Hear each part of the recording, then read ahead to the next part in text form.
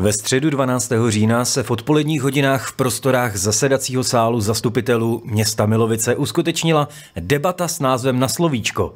Tentokrát si na slovíčko starosta města Milovic Milan Pour pozval ředitele společnosti Česká krajina Dalibora Dostála, který stojí mimo jiné za tím, že se do okolí Milovic vrátili pratuři, zubři a divocí koně.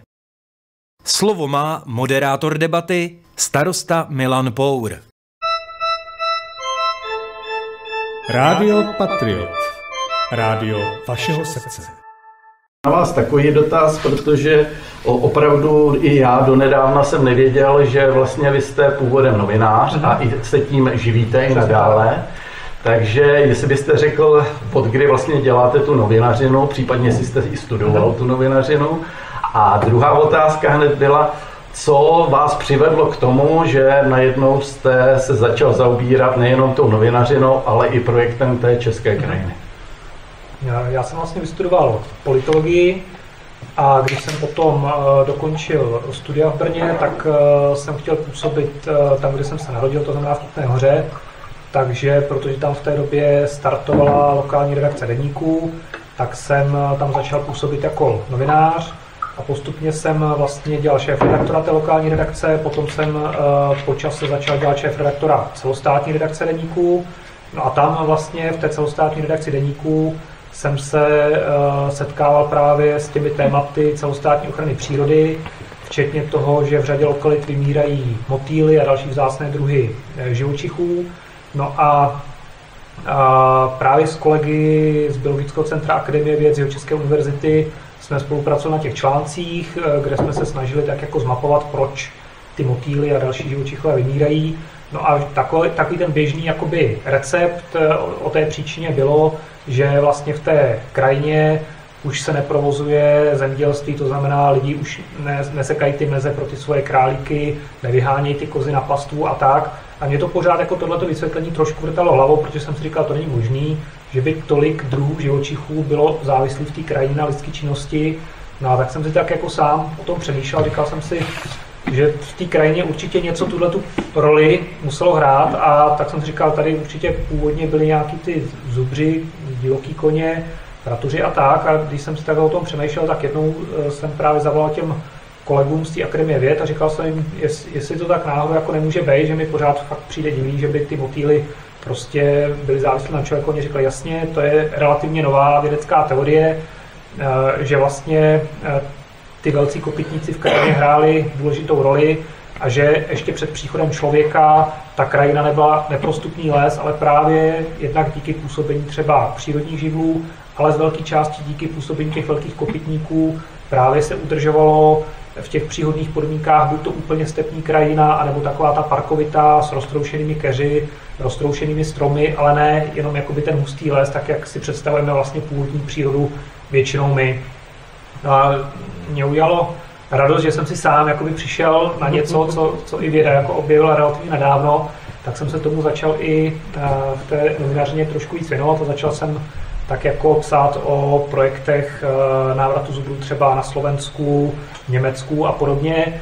A e, předpokládal jsem, že nějaká z těch zavedených neziskových organizací se tohoto toho tématu kopí, protože e, v zahraničí, v zemích jako je třeba Velká Británie, Nizozemí, e, Německo, podobné projekty existují zhruba tři desítky let.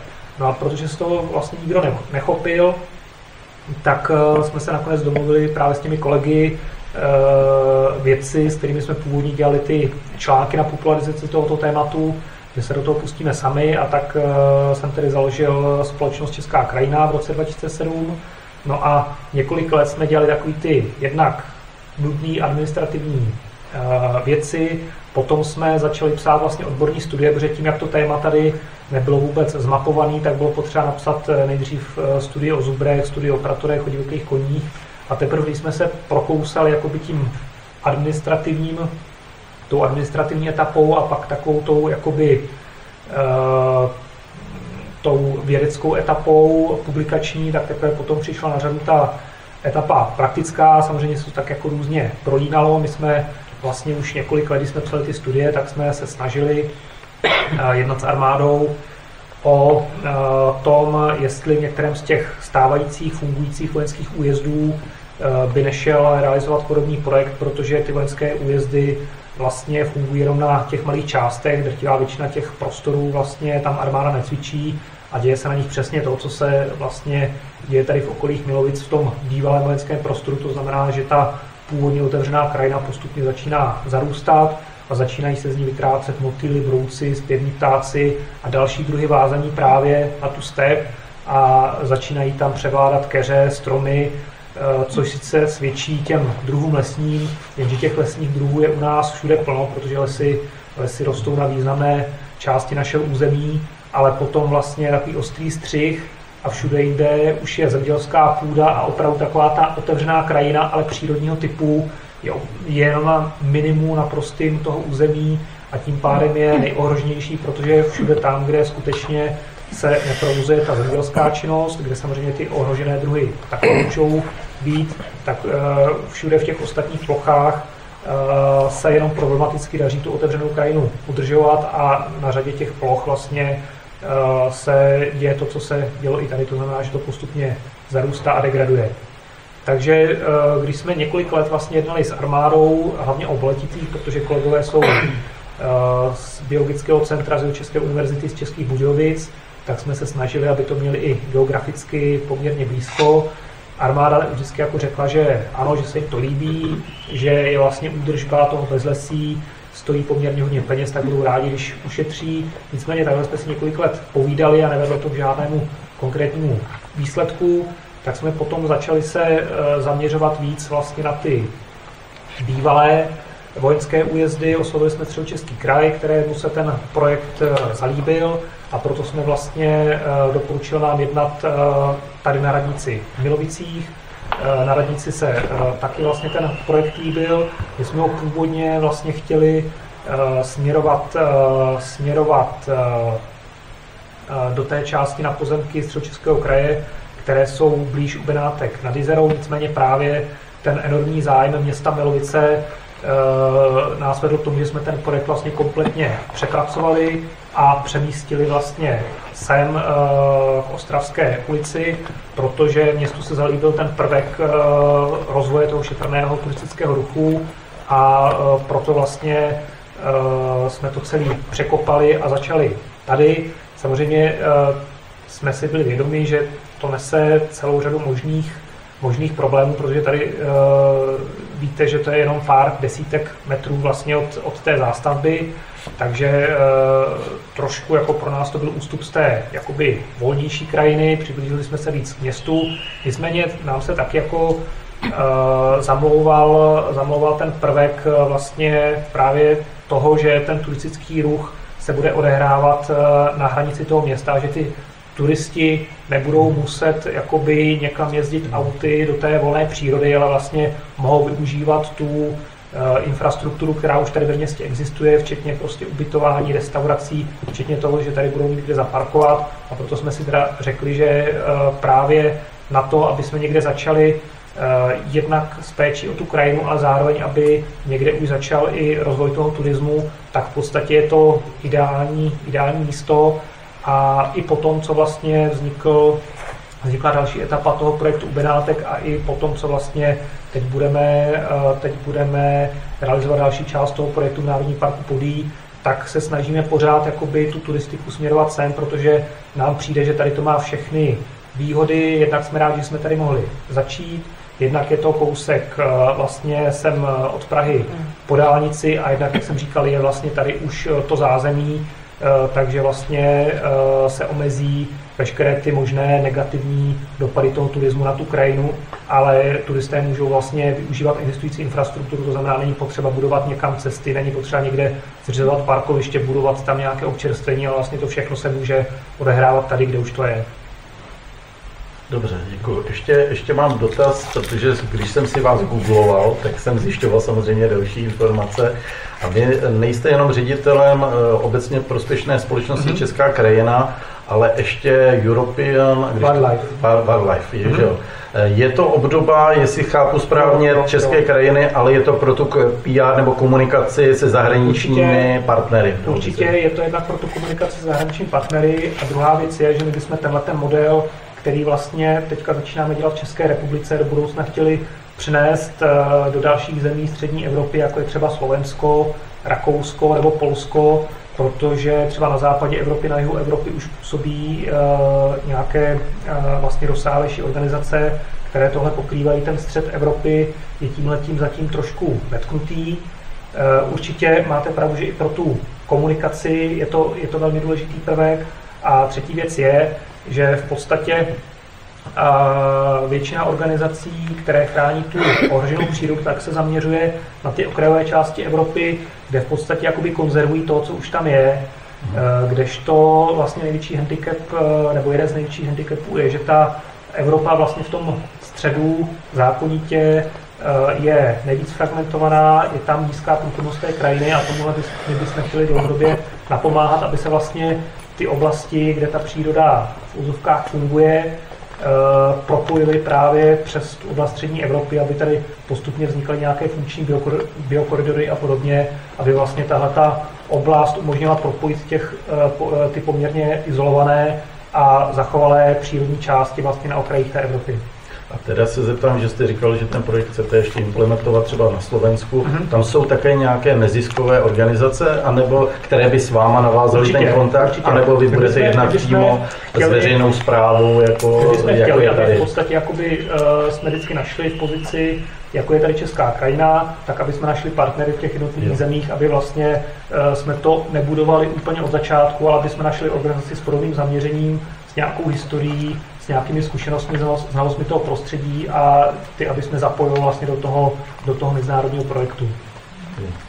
No, že jo, v novinách se psalo, že vlastně tady ten projekt těch velkých kopytníků v České republice, že je to ojedinělý Mhm. projekt, o, vlastně jediný snad ve světě. Je, je, je to pravda? Hm? Je to pravda v tom, že jsme vlastně první na světě, kde v rámci jedné rezervace uh, jsou všechny tři těch velkých kopytníků. To se skutečně nám povedlo jako prvním.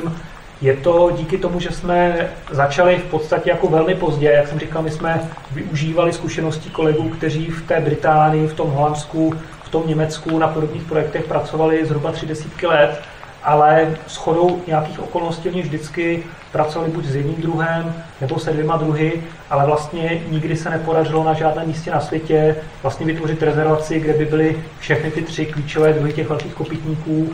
Takže i díky tomu, že vlastně oni za nás vyšlapali vlastně a vyskoumali ty slepé uličky. A my jsme vlastně, když jsme začínali, tak jsme poměrně dobře věděli, kudy ne, tak proto jsme vlastně mohli dosáhnout eh, poměrně rychle eh, jakoby těch dobrých výsledků, protože jsme fakt se mohli jako díky nim a díky těm jejich chybám jakoby sami poučit a ten projekt potom zrealizovat eh, co nejlépe, jak to jde. Díky spolupráci s vědci vlastně jsme ho mohli zrealizovat na základě těch nejnovějších vědeckých poznatků a podařilo se nám eh, i právě díky partnerům, jako je město Milovice nebo AOPK, kteří nám poskytli, eh, poskytli ty potřebné pozemky, tak se nám to podařilo vytvořit v relativně krátkém čase, nebo v relativně jako ve velmi krátkém čase, protože když eh, třeba mluvíme s kolegy na Slovensku, kde mají jednak problém s tím, že tam mají velmi rozdrobenou vlastnickou strukturu, tak ti vlastně, když uvažují o podobných projektech, tak je to pro ně na dlouhá, dlouhá, dlouhá léta,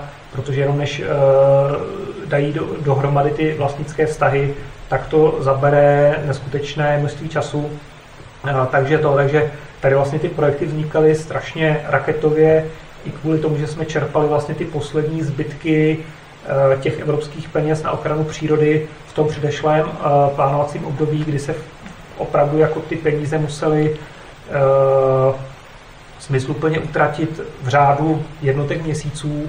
To znamená, to znamená, že my jsme skutečně tady vždycky kopli do země a za prostě měsíc, dva, v tom druhém případě dokonce za 14 dní, 3 týdny už tam vlastně jsme do, do těch rezervací přivezli zvířata, takže to bylo neskutečně, neskutečně rychlé a pro nás samozřejmě neskutečně náročné.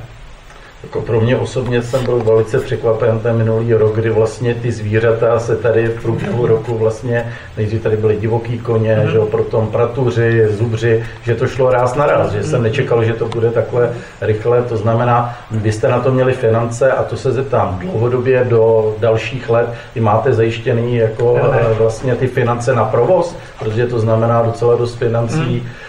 i do budoucna, pokud tady hmm. chcete a my jako město určitě to budeme podporovat. Víte, že jsme vázáni i smlouvou vlastně na 10 let hmm. na výpůjčku toho území. Jedná se o 40 hektarů, hovoříme i o tom, že by se to rozšířilo, hmm. to území, i jednáte s krajem o tom rozšíření, takže kde, kde, kde, kde očekáváte nebo kde berete eh, ty finance, kromě dotací hmm. z Evropské unie? Eh, my ty projekty máme postavený tak, že v podstatě to nejdražší je na začátku, to znamená, je to postavení těch ohrad, dovezení těch zvířat, kdy třeba 50% ceny těch zvířat, jenom ta doprava z těch velkých vzdáleností.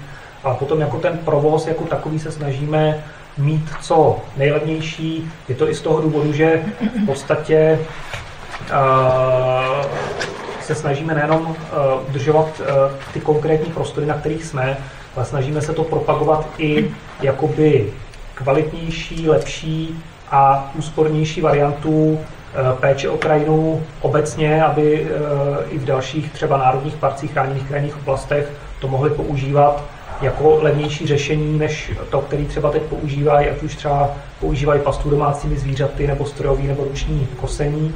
Takže eh, proto vlastně ty naše provozní náklady jsou relativně levný, jsou třeba pořád nižší než ty postupy, které jsem teď popsal, které se běžně, běžně realizují takže to, takže uh, proto vlastně uh, tím, že jsme čerpali vlastně ty poslední evropské peníze v rámci toho minulého období, tak jsme vždycky měli peníze v jednom případě asi na tři měsíce a v druhém případě asi na rok, ale každopádně obě ty období už skončily, takže teď si scháníme vždycky na každou tu sezónu peníze na ten provoz znovu z nějakých krátkodobých grantů. My jsme vlastně to něco podobného zažili už, když jsme čerpali ty evropské peníze, protože vždycky se čerpá jenom nějaká uh, větší, ale část a uh, ten žadatel si musí sehnat část peněz uh, z jiných zdrojů, takže my jsme vždycky potřebovali vlastně na každý ten rok, kdy jsme fungovali, si sehnat uh, 100 tisíce korun na to, aby jsme vlastně mohli kofinancovat, kofinancovat ty projekty. Bohužel u nás v tomhle České republice máme na rozdíl od těch vyspělých zemí handicap. Eh, u nás bohužel nefungují nějaké dlouhodobé programy podpory, eh, ať už neziskových eh, organizací nebo projektů na ochranu přírody. V podstatě drtivá většina těch projektů jsou pouze jednoleté, anebo pokud jsou to víceleté programy, tak se vyhlásí třeba jenom jeden rok a pak se několik let nevyhlašují. Takže to, takže jako schání těch peněz na financování těch projektů a toho provozu je pro nás výrazně těžší než třeba pro kolegy eh, z těch zemí na západ od našich hranic, protože eh, uvedu příklad kolegové, kteří podobný projekt dělají v Holandsku, tak dostávají pravidelně několik milionů R ročně od místní loterijní společnosti, prostě proto, že ochrana přírody je v Holandsku jedno z nejsilnějších témat a e, prostě pokud e, tam někdo přemýšlí, kam dát peníze na charitu, na dobroční účely, tak ta ochrana přírody je jedním z hlavních témat, mm. takže tak jako třeba u nás loterijní společnosti sypou peníze do sportu, tak tam loterijní společnosti dávají peníze na ochranu přírody. Mm. No takhle to je pro vás určitě stresující, jako sehnat peníze na další rok. Jo, jo, je, je to tak. Předpokládám, že... máte teda nějaké ještě podnikatele nebo nějaké sponzory, který je to tak, ale tam, tam, podobný, tam se vlastně každý rok musí žádat znovu a znovu. Ani u těch uh, firmních dárců nebo u těch nadací nejsou zatím vytvořeny nějaký propracovaný víceletý programy, což uh, je, já jsem jako novinář se věnoval tomu neziskovému sektoru, tak i vlastně na to, že máme nějakých 27 let od roku 1989, tak to považuji vlastně za obrovský handicap eh, té oblasti eh, neziskového sektoru, společenské odpovědnosti a toho dárcovství, protože skutečně eh, potom je to vidět i na těch typech projektů. Já jsem se vždycky divil, proč u nás nikdo nerealizuje takovýhle typy projektů, které se dělají v tom zahraničí a bohužel vlastně ta převládající forma financování, která se u nás děje, to znamená financovat vždycky projekty jenom na rok nebo na časové velmi krátké období, tak bohužel nahrává takovým těm projektům pro projekty, kdy se vždycky vždycky myslí nějaký projekt tím, že se modifikuje už něco, co se jelo před rokem nebo před dvěma, eh, teď se tam trošku jako něčím zamíchá, aby se eh, to jakoby modifikovalo, oživilo, ale v podstatě jakoby eh, se, se udržou v podstatě v chodu takový ty projekty toho měkkého typu, ale eh, když se má něco jakoby vytvořit, protože v zahraničí skutečně ty neziskovky dělají rezervace, eh, vracejí ohrožená zvířata do přírody, tady se jakoby spíš hodně vzdělává, hodně se dělají kampaně, eh, ale jsou, to jsou všechno takové měkký, měkký, měkký věci, kde se prostě ty peníze buď dají na propagaci nebo na nějaký lektory, ale jakoby v tom terénu toho oproti těm vyspělým zemím u nás vzniká velmi málo. A ty neziskovky, teď možná se mýlím, ty spadají pod eh, gesci ministerstva vnitra. Eh, jestli jste, toto pro, jestli jste s, nima, s ním, s ministerstvem vnitra nebo s hmm. MMR, jestli jste jednal o tohle díře, bych hmm. řekl, na tady ona je to, v zákoně, dalo by se říct. Ona je to který, spíš, než věc zákona, tak je to spíš věc jakoby toho podnikatelského prostředí, protože... Ale to musí někdo vytvořit. Jasně, ne, že jasně. Ale je to, je to i tím, že eh, v podstatě k nám, když přicházely ty firmy ze zahraničí, tak samozřejmě tady chtěli hlavně vydělávat a eh, většina těch velkých firm vlastně přišla odinut. Takže přeci jenom ten vztah vlastně jakoby k tomu, eh, k té společnosti byl trošku jiný, takže samozřejmě na jednu stranu sem ty zahraniční firmy vůbec vnesly ta témata té filantropie, společenské odpovědnosti, na druhou stranu právě tady dělali převážně tuhletu měkkou část eh, té filantropie a v podstatě dávají výrazně jednak méně peněz a jednak eh, vlastně chybí tady ty dlouhodobé programy, které jsou třeba obvyklé v těch vyspělých zemích. Mm-hmm. Čili určitě, pokud bude třeba sílit ta česká část toho podnikatelského prostředí, jak vidíme, že k tomu postupem času dochází, tak předpokládám, že se i tohle bude zlepšovat a že se budou postupně vlastně firmy víc hlásit k dlouhodobější podpoře toho neziskového sektoru, protože skutečně, když se dělají jenom roční ad hoc programy, tak to vede k takové té šablonovitosti a dělají se tím pádem programy, které jsou výrazně menší a výrazně jednodušší, než eh, jaký ty neziskovky dělají jinde ve světě. Já jsem si všiml, že na vašich stránkách České krajiny, že tam máte i vlastně účet, kam můžou mm. případně sponzoři nebo dárci vlastně zaslat peníze, takže, takže je, ta, je ta možnost. Obraťme list, eh, co se týká zvířat, těch divokých, které tady u nás v Milovicích jsou.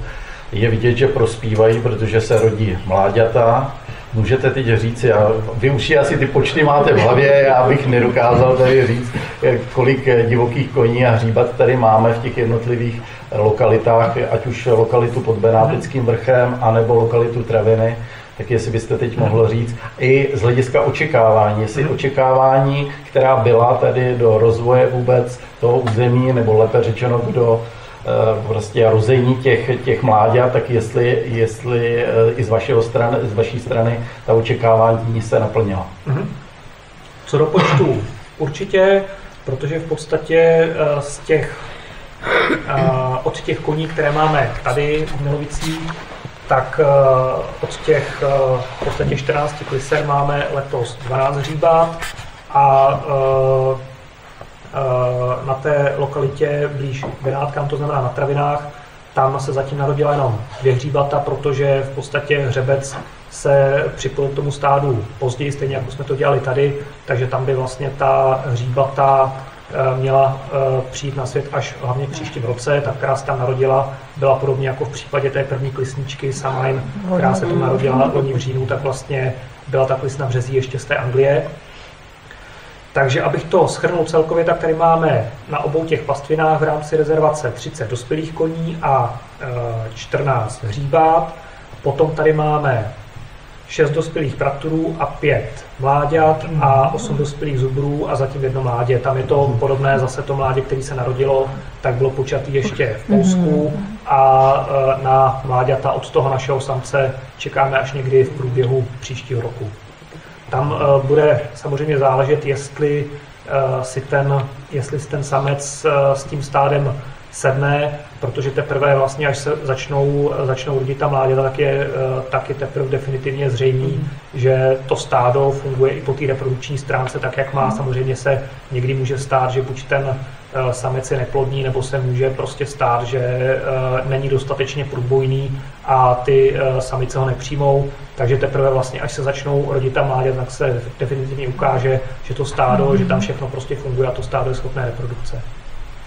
Já chci říct jenom takovou úsměvnou, úsměvnou věc, že já bydlím kousek od Ostravský bytu a ráno mě několikrát, a to tady vlastně tady bydlí i, i pan Procházka, tak mě probudí bučení. Aha. A to si člověk říká, že jestli je ve městě nebo na vesnici. Jako.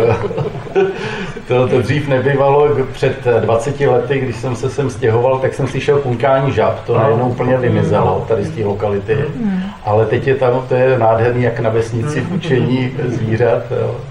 To je, to je si myslím, že zajímavý a jako opravdu pro ty občany tady Milovic je to zajímavá lokalita, velice ceněná a eh, hlavně děti ze školek, ze škol mhm. to tam navštěvují, takže eh, to je, si myslím, že to je velice zajímavý projekt tady pro, pro mě. My jsme za tohleto strašně rádi, protože nám to dělá radost, kolik lidí to, že to bude jakoby atrakce pro turisty, s tím jsme tak jako počítali, protože je to skutečně zajímavý, ale dělá nám strašnou radost, kolik lidí tady z Milovici to oblíbilo mm. jako místo pro ty vycházky nebo výšky na kole, když tam právě vidíme děti ze školky s paní učitelkou, jak tam chodí na procházku, nebo lidi, když tam eh, jedou rodiny s kočárkem, tak, je, tak nám to dělá hroznou radost, protože právě z toho je cítit, že to místo mají skutečně rádi.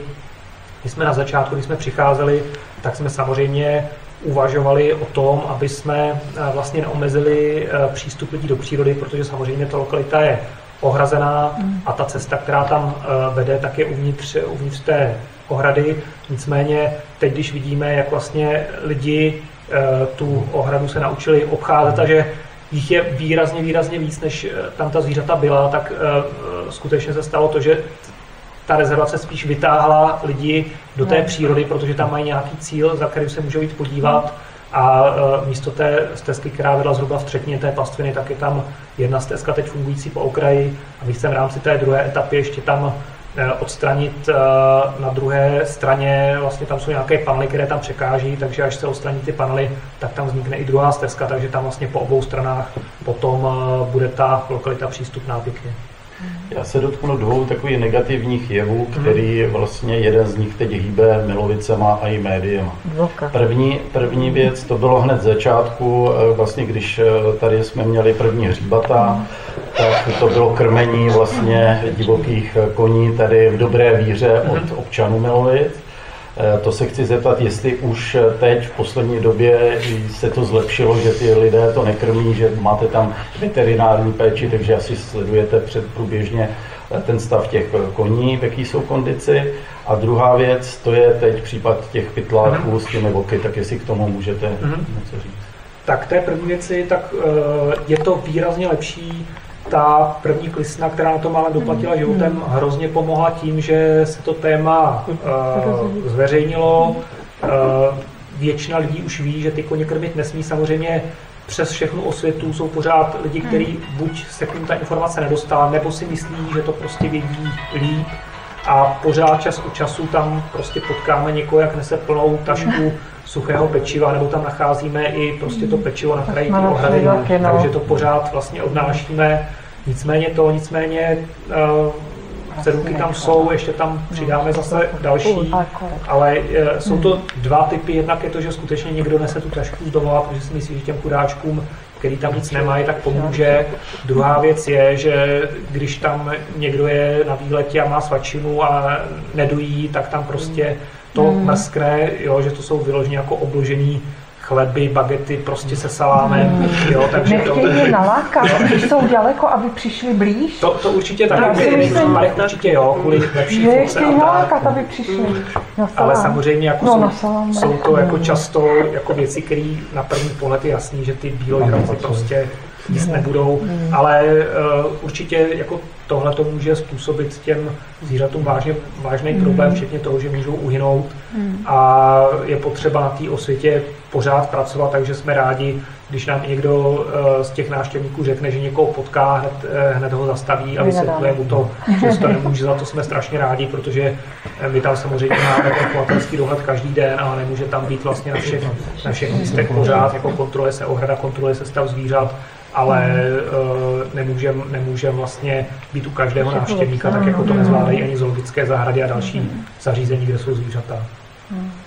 A ten druhý, ten případ, druhý případ, uh, ten druhý případ, ten je uh, vážnější v tom, že tady u toho přikrmování, jako ta zvířata na to mohla doplatit životem, ale bylo to v podstatě ten nebyl cíl těm zvířatům prvoplánitě ublížit. Tady je jasný, že tady šlo o to vlastně těm zvířatům ublížit, eh, protože hmm. tam skutečně ta lokalita nebo to místo, kde ta nástraha ty oka byly, je tak odlehlá a tak nepřístupná, že o tamtud si nikdo nemohl eh, z těch zvířat eh, nic odníst.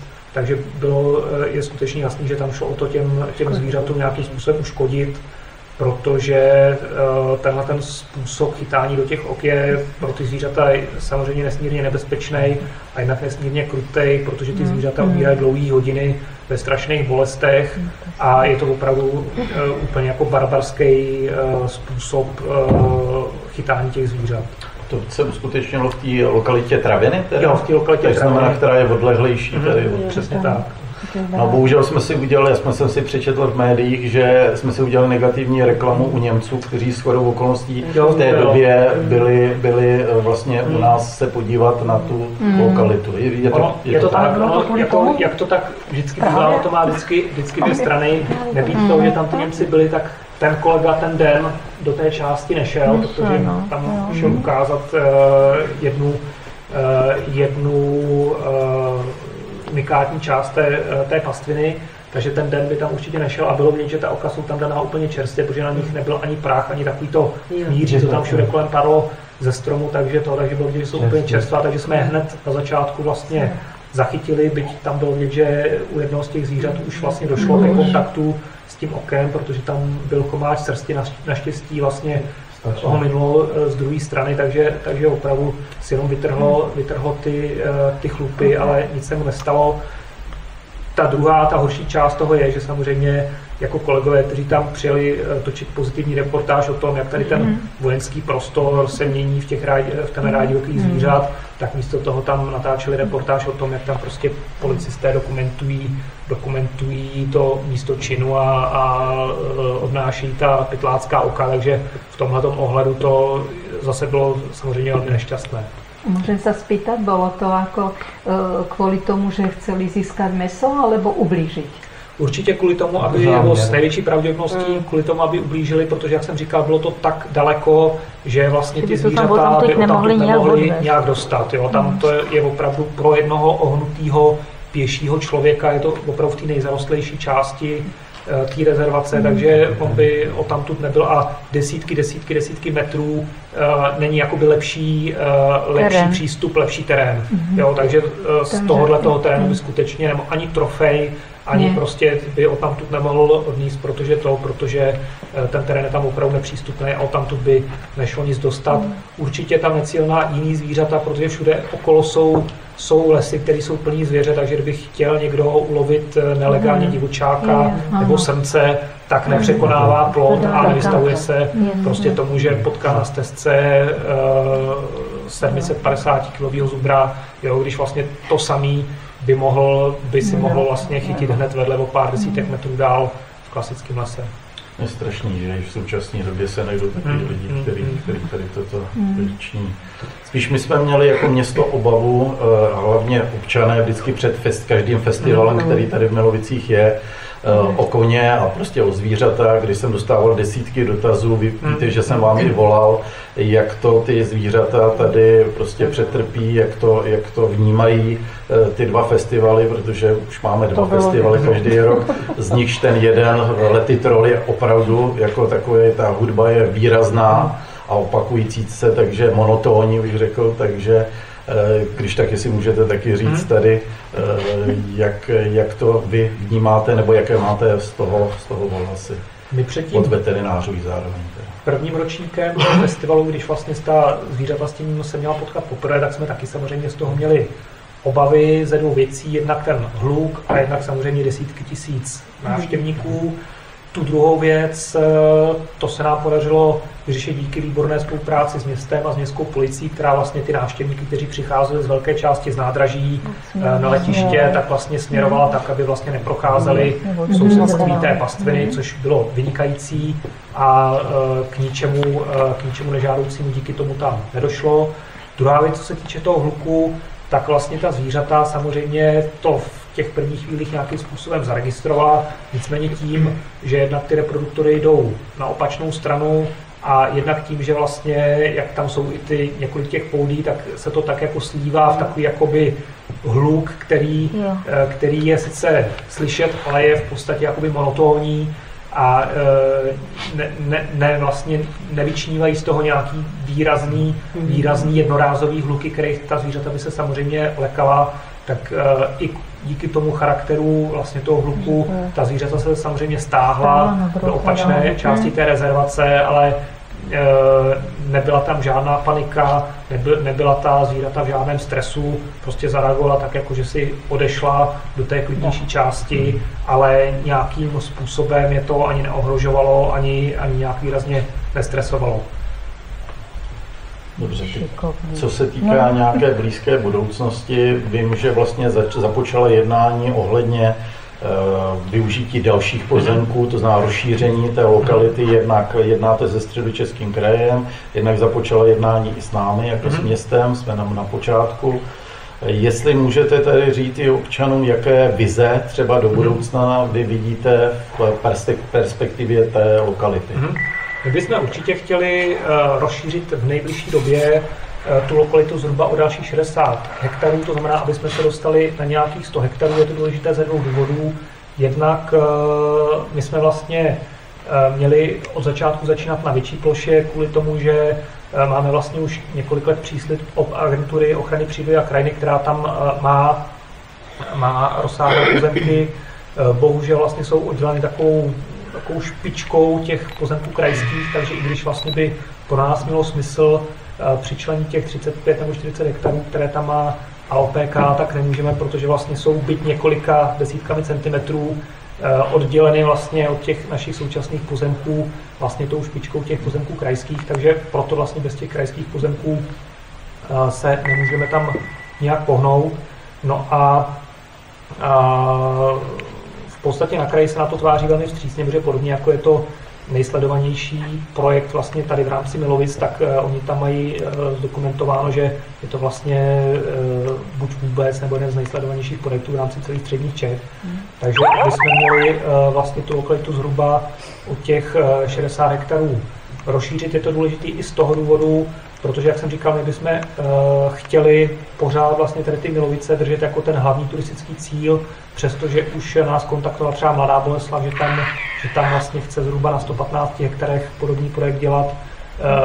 S- jsme v jednání uh, v severních Čechách, kde chtějí zhruba minimálně na 50 hektarech, na 50 hektarech taky vlastně podobný projekt dělat. Mluvil jsem už o tom polí, takže těch projektů i díky tomu, že to má být systém levné péče o tu krajinu, tak bude určitě přibývat, ale eh, vzhledem k tomu, že tady v těch mluvících se nám protíná několik jakoby těch eh, výhod najednou, tak bychom chtěli vlastně, aby návštěvníci primárně jezdili sem. Z toho důvodu potřebujeme, aby ta lokalita byla konkurenceschopná i tou rozlohou a teď v podstatě, teď v podstatě z těch čtyř ploch, eh, který buď už, na kterých buď už pracuje, nebo který se připravuje na nejbližší budoucnost, tak je vlastně bezkonkurenčně nej, nejmenší.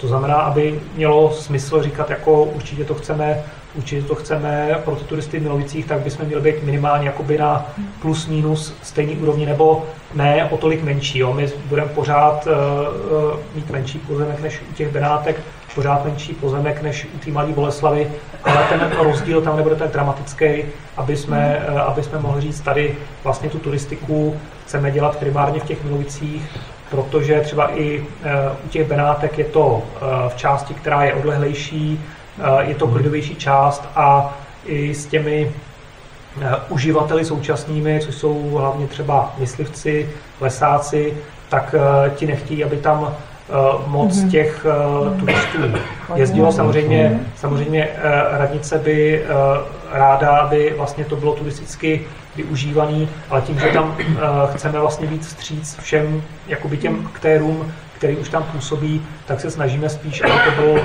aby to byl uh, jakoby využívaný jakoby menšími skupinkami, aby to, uh, aby to nevnášelo té krajiny příliš velký ruch, kdežto tady, kde stejně vlastně silnice existují, vlastně veškerá infrastruktura tu je, tak tady má smysl, aby vlastně se to využilo i k tomu cestovnímu ruchu. Čili proto bychom potřebovali vlastně, aby jsme se mohli eh, rozšířit co nejdřív eh, zhruba na těch 100 hektarů, což už je i proto nabízení těm zájemcům, kteří to budou chtít vidět, vlastně číslo, který, eh, který jakoby zní dobře a se kterým se dá výrazně líp pracovat než s tou současnou rozlohou.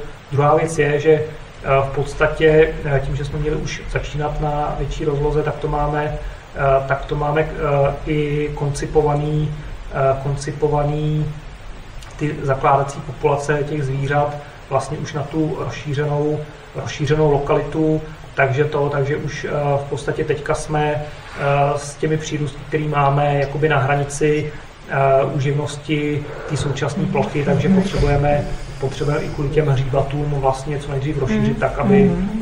tam měli dostatek pastvy. Mm. To znamená, další zvířata už nepočítáte, že byste Určitě přiváželi, přivážet, už, ne, už, už, už žádný to znamená, necháte tomu teď přirozený mm. vývoj a teď se zeptám spíš do budoucna, Eh, protože ty zvířata samozřejmě potom eh, se spolu budou pářit, mm. jestli nedojde k nějakému teď genetickému degenerování, to znamená, jestli počítáte nějaký eh, se tomu říká, ne, ne, ne, je prostě nového hřebce, no, když to řeknu konkrétně, aby, aby nedošlo prostě k degeneraci toho, toho, toho, toho plemene. Vždycky po dvou letech se vlastně ta hříbata musí převést do hmm. jiné lokality, a po několika letech samozřejmě zase budeme muset vyměnit hřebce, tak aby prostě se ty geny v rámci těch populací měnily a střídaly a přesně, aby nedocházelo k té degeneraci. Všechna ta zvířata, která máme, tak jsou zanesená v plemených knihách, to znamená, každá ta plemená kniha má svého hmm. správce, který přesně hlídá, eh, která zvířata kam mohou jít, aby se nepotkávaly zvířata, která v tom rodokmenu jejich předci jsou příliš blízko u sebe a aby přesně Eh, nedocházelo k tomu, že se tam budou posilovat nějaké dědičné mhm. vady, choroby, mm. nebo že se prostě budou křížit eh, zvířata, která jsou, jsou v tom rokmenu blízko u sebe. Mm. Můžu se jenom zeptat, tohle je tady, tady si to můžete regulovat, jenom ze zajímavosti, jak se to děje v přírodě, teda, jak oni se teda, aby se nezdegenerovali. V přírodě se to děje tak, že ty, ty matky, když odstaví ta mláďata, tak samozřejmě, samozřejmě Eh, jsou potom odpůzena od toho stáda, klesny se připojí k jinému stádu, řepci si vytvoří skupinky, který potulou tou krajinou a vždycky jakoby testují toho vůčího hřebce u toho stáda, jestli má ještě dost sil, aby jakoby si uhájil tu svoji pozici, anebo jestli už náhodou nezačíná být za zenitem a když prostě najde zdatného soupeře, tak bude muset uh, to stádo opustit a jeho pozici zaujme někdo jiný. Nám třeba kolegové tady i ze zoologických zahrad doporučovali, jestli nechceme uh, sem do téhle lokality dát uh, hřebce v úzovkách navíc, který hmm. by právě plnil tuhle tu úlohu a testoval toho hřebce, který je u stáda. Lepší, Nicméně jsme jim právě říkali, že ta plocha je, malá, uh, tak malá, že vlastně hmm. ten hřebec, který by byl uh, v postavení toho slabšího, tak by, tak by byl vlastně terorizovaný tím, hmm. tím ostatnějším a neměl by tady kam utíct. To znamená, že, že vlastně z těchto těch důvodů uh, to tady není možné. Až se hmm. podaří tu lokalitu rozšířit, tak nevím, jestli uh, už u těch 100 hektarů by to bylo, by to bylo možné, ale pokud se třeba bude do budoucna rozšiřovat dál, protože kraj nám přislíbil, že vlastně u těch svých pozemků, který vedou až vlastně tam nahoru po ten lesík, tak, tak by to viděl jako nejlepší péči vlastně o tu step, hmm. která tam je. Tak pokud by potom ta plocha byla v budoucnu větší, tak i tohle by tady šlo zrealizovat, protože ono samozřejmě to má pro to stádo zase některé nebo řadu výhod, protože pokud, eh, pokud ten hřebec ví, že má někde konkurenta, tak eh, si toho stáda výrazně víc všímá, mm. výrazně víc se snaží držet to stádo pohromadě, tady si můžete všimnout, že třeba v těch eh, prvních týdnech, kdy tady byl ten hřebec, tak to stádo bylo kompaktnější, Jo. ale jakmile samozřejmě ten hřebec zjistí, že široko daleko nemá žádného konkurenta, Konkurenta, tak ta tak jeho jasně. obstražitost zákonitě klesá a teďka můžete vidět, že to stádo často je vlastně roztažené Roztažené. na té pastvině poměrně do velké plochy, takže ono by to jako samozřejmě nastartovalo zase jakoby další ty přirozené instinkty v rámci, v rámci toho stáda a chování těch zvířat, nicméně, jak říkám, eh, vždycky to musí mít odpovídající podmínky a ty tady zatím nejsou, takže, takže eh, to je třeba až otázka nějaké budoucnosti. No, ale vy jste dovlékli G a máte problém.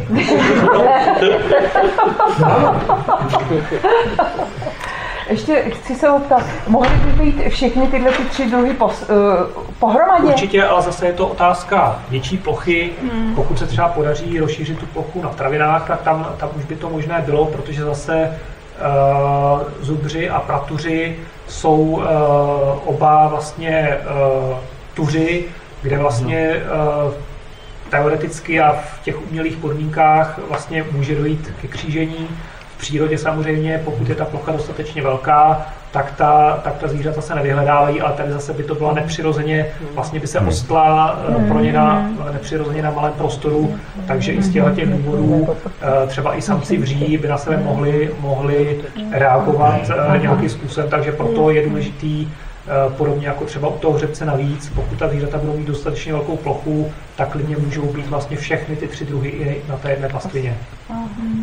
Já jenom teď, jak vás poslouchám, tak žasnu nad tím, jak politolog, vystudovaný novinář, hovoří tady o etologii, o chování zvířat. Jako, to, jste, to jste dostal, chodil jste na akademii, a, nebo jste samouk si tady tohle Já jsem v nastudoval? podstatě to, v podstatě s těmi kolegy dával dohromady ty odborné studie, takže tam toho člověk musel strašně moc načíst a úplně nejvíc mi samozřejmě dává to, eh, že ty problémy a ty záležitosti kolem eh, těch zvířat diskutujeme.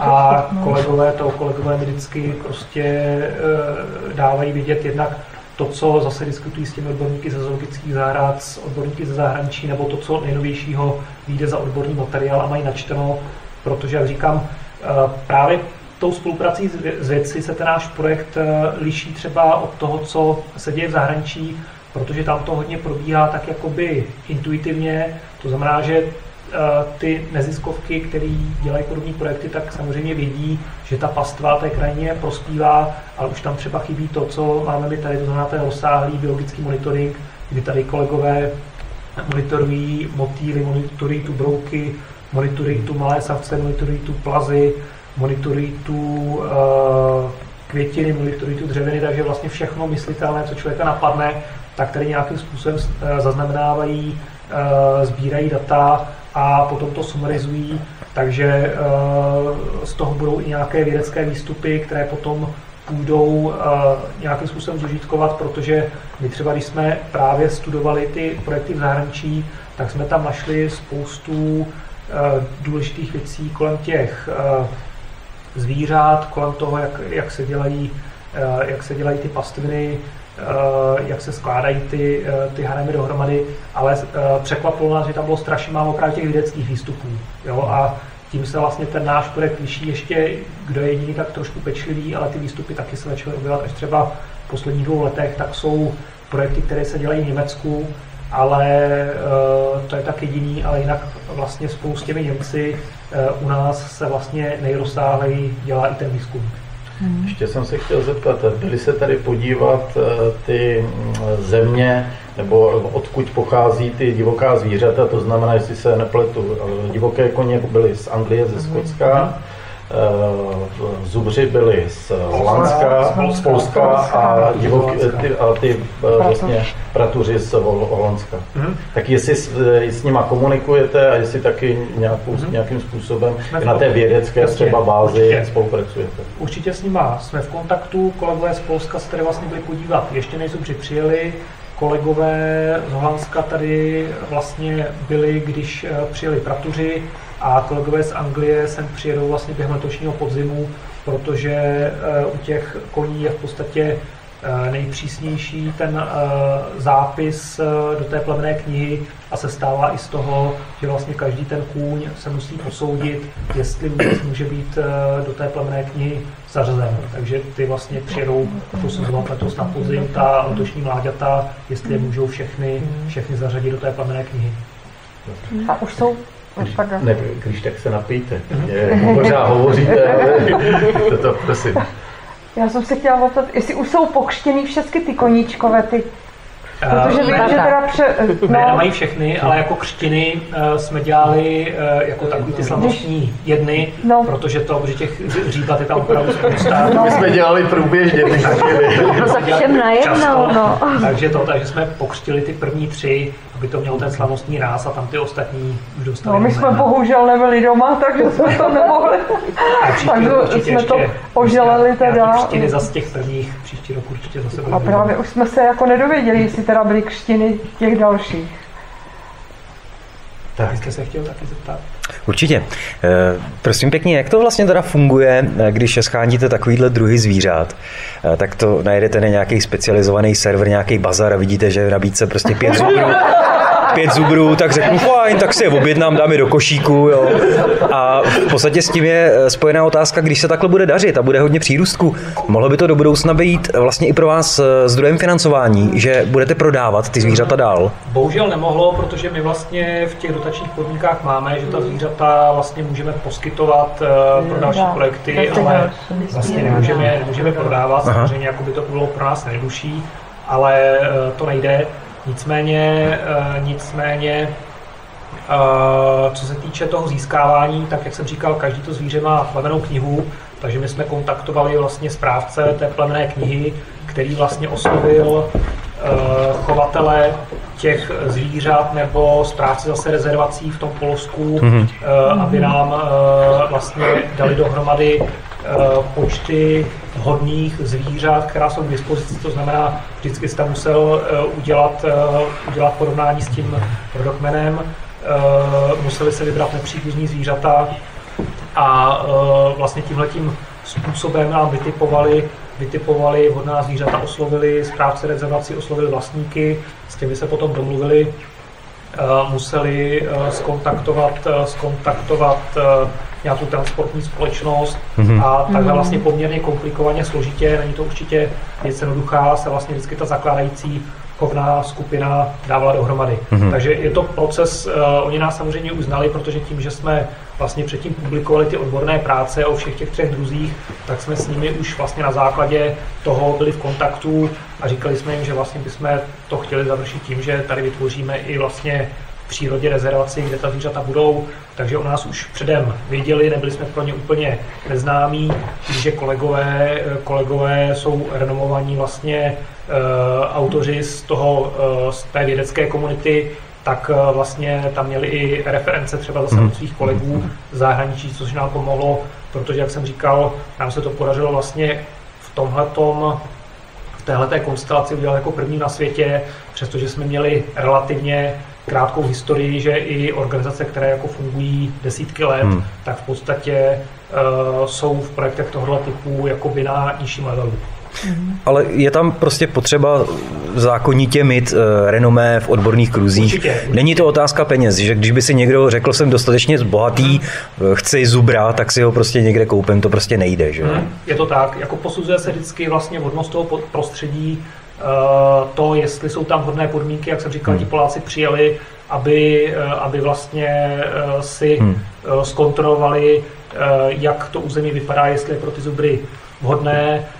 To samé zase kolegové z Anglie taky prostě vždycky chtěli vědět, jak ta lokalita vypadá, hmm. jaká je perspektiva dalšího vývoje, o to se třeba zajímali hodně kolegové z Holandska, odkud jsou ti pratuři, jo, že je nezajímal jenom jakoby ten aktuální současný stav, ale i ty další perspektivy, protože, jak i tady pan starosta říkal, tak vlastně ta zvířata samozřejmě budou přibývat, takže i pro ně bylo hmm. důležité vlastně perspektiva toho dalšího hmm. rozšiřování té rezervace, takže eh, opravdu jako se ptají na eh, poměrně podrobné věci, protože eh, jim nejde o to se těch zvířat zbavit, ale jde o to, protože vlastně všechno ta hmm. zvířata jsou v nějakých záchranných záchranných chovech, tak jim jde o to vlastně vytvořit takovou populaci, která bude mít co nejlepší podmínky, aby vlastně těch zvířat mohlo postupně přibývat, aby jsme se dostali vlastně pořád, eh, vlastně všechny ty tři druhy jsou vlastně v těch červených číslech, to znamená, jsou, jsou v těch počtech, kdy Hmm. jsou velmi silně ohrožené, takže jde o to, aby vlastně jakákoliv populace se založí, tak aby to nebylo uh, jedno izolované zvíře nebo pár těch zvířat, který vlastně se buď nebude reprodukovat vůbec, nebo tam bude skomírat v nějakých jakoby eh, neoptimálních podmínkách. Jde skutečně vždycky o to, aby vlastně ta zvířata přišla do co nejlepšího prostředí a aby vlastně do budoucna co nejvíce přispěla k, eh, k té záchraně toho druhu. Ta zvířata jsou předpokládám z podstaty plachá. My je necháváme teďka ve volné přírodě, ale stejně neprobíhá jakási pozvolná domestikace těch druhů. Když máme je v nějakém, nějaký ohrádce, chodíme se na ně koukat. Určitě to není, určitě to není domestikace, ale máte pravdu, že určitě tu plachost ta zvířata ztrácejí, ale eh, vlastně ono je to tak eh, i třeba v té Anglii, kde vlastně eh, Anglie taky není, byť ten Exmoor, odkud pocházejí, tak je taková trošku bohem zapomenutá část té Anglie, ale přeci jenom lidé tam žijí, takže ani ty koně vlastně eh, nepřichází z úplně leduprázdného prostředí, eh, takže na člověka jsou zvyklí, samozřejmě většina jich žije na jako daleko rozsálejších plochách, nicméně jako každé zvíře, ať už to známe zase z těch zoologických zahrad, nebo i z okrajů přírody, eh, kde třeba hraničí sídliště s lesem, tak určitě jako k těm kontaktům dochází. Všichni známe třeba, jak to vypadá se Sisly v Mladé Boleslavi, eh, jsou sídliště, kam chodí prostě daňci, přestože tam proudí, nebo právě proto, že tam proudí lidi na, na víkendové procházky, tak se naučili daňci z lesa chodit, protože tam dostanou nějaký panosek, takže samozřejmě jakoby ten kontakt lidí s těmi zvířaty vede k tomu, že se u nich ztrácí plachost. Nicméně tady, protože jsou v tom ohrazeném prostoru, tak to není tak na závodu jako třeba uh, u zvířat, která jsou úplně volné přírodě, protože tam samozřejmě ta ztráta té plachosti vede k tomu, že ta zvířata se přibližují víc k těm lidem, ale zároveň pořád mají uh, ty instinkty a uh, ty, ty prudké reakce, kdy, když si něčeho leknou, tak vlastně pro toho člověka, který, je, který by s nimi byl vlastně blízko ke kontaktu nebo v kontaktu, tak by to mohlo mít špatné následky. Tady vlastně ta zvířata jsou v té ohrazené, v ohrazené části, takže vlastně tam, uh, tam vlastně k tomu kontaktu s tím člověkem úplnému uh, nemůže dojít. Druhá věc je, že eh, máme právě zkoušeno ten rozdíl mezi těma eh, dvěma pastyrama, kdy na té větší skutečně eh, je znát, že ta, že ta zvířata se vlastně od toho člověka udrží výrazně větší odstup, Hmm. protože tam mají vlastně větší plochu k dispozici. Ano, byl jsem tam několikrát, ještě jsem je neviděl. My jednou a viděli jsme. Jo, takže jsou tam, jo. No jsou, jsou. Tady v Milovicích samozřejmě zatím ta pastvina má tvar takového protáhlého obdélníku, kde Ano. když to obejdete, Hmm. tak Jasně, vždycky z něho dostanete, takže to, takže tam samozřejmě ta zvířata eh, ten kontakt s tím člověkem eh, mají. Mhm. Abych si vás teda neukradl pro Ne, sebe. ještě, ještě, má, máte ještě dotaz? Ještě bych se zeptal, už, už dám pokoj. Vy jste říkal, že Vlastně ta prvotní myšlenka je eh, jakási přirozená kultivace toho prostředí, aby eh, nám nemizely druhy, ať už je to hmyz nebo, nebo rostliny. Je už teda nějaký výsledek toho? Můžeme, to už, už můžeme říct, že, že to pomohlo něčemu. Určitě, určitě vlastně ty výsledky jsou překvapivě rychlé. Vlastně eh, vědce překvapili, eh, nebo aspoň část těch vědců překvapily dvě věci. Eh, Jednak eh, byť jsme věděli, že to ty zvířata zvládnou, protože je to vyzkoušený ze zahraničí, tak tady stav těch prostorů byl tak špatný a byly tady vlastně tak agresivní druhy těch tráv, že i skutečně někteří botanici z toho našeho týmu prostě za námi chodili a říkali, hele, jako opravdu eh, tomu. Kroutili hlavou. počítáte s tím, že tam budete ty koně prostě přikrmovat, protože tady je opravdu jenom ta nej, nejšílenější představitelná jakoby Jo. uh, tráva, kterou žádný zvíře, co známe, prostě nežere. A ty, ty chudáci koni tam budou v tom stát, že jo, A po krku chudák. poření, tý, uh, třtině křovištní a budou prostě vyhlížet, kdy jim jako někdo přileze na valníku ten, uh, to seno. No, tak uh, vlastně už hned ty první týdny ukázaly, že skutečně ty koně si s tím poradili úplně úžasně a tu aklimatizační ohradu, kde byl vlastně ten první měsíc po příjezdu zavřený zhruba na těch dvou hektarech, tak úplně krásně spásli, takže tam vlastně, tam vlastně v tom místě, kde vlastně, když, eh, když vlastně vyběhli z toho kamionu, tak vlastně tam úplně zmizeli, protože tam je to trošičku zvlnitý, byla tam vysoká tráva, takže tam vlastně koně zaběhli a, a, a ztratili se, přestože teď, když tam jsme, tak je to tak malá a krásně přehledná plocha, ale opravdu, když tam vběhli, tak jsem úplně ztratil jako z dohledu. Takže během toho prvního měsíce to krásně spásli, takže i jako takovou tu nedůvěru části té vědecké obce, jestli ty koně si s tím poradí, tak vlastně ty zvířata ukázaly, že to skutečně umí. A druhá věc, eh, která ty věce překvapila, tak eh, byla jak rychle vlastně ty eh, koně nastartovaly obnovu té přírody, protože už v loňském roce jenom během léta vlastně tam kolegové napočítali 50 hořců, což vlastně předtím, předtím tam vlastně nebylo možné identifikovat žádný, protože ta tráva byla tak vysoká, že ty hořce hmm. skutečně potřebují otevřený, otevřený terén. Nebylo to samozřejmě tím, že by se tam tak rychle stačili vysemenit, ale eh, oni ty hořce tam vlastně přežívali v takovém jakoby spícím stádiu eh, i ty starší rostliny eh, a vlastně čekali, jestli náhodou se jim znova nevytvoří hmm.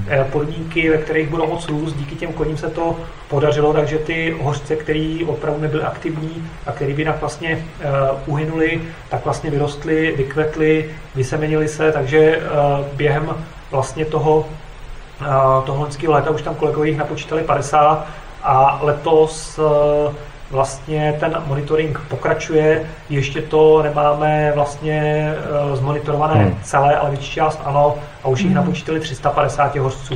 Jo, takže skutečně jako by ty koně tomu uh, velmi pomohly. Hmm. A kromě toho se tam, uh, se tam objevuje, uh, objevují uh, různé druhy motýlů, a samozřejmě záleží na tom modrázku, modrázku hořcově rebelovů, eh, což je vlastně nejvzácnější motýl, který tam je a který vlastně má úžasně komplikovaný eh, komplikovaný vývoj, že vlastně jednak je životně závislý na těch hořcích, ten hmm. vlastně nemůže na žádnou jinou rostlinu hmm. klást ta vajíčka, takže to je jeden vlastně limitující faktor.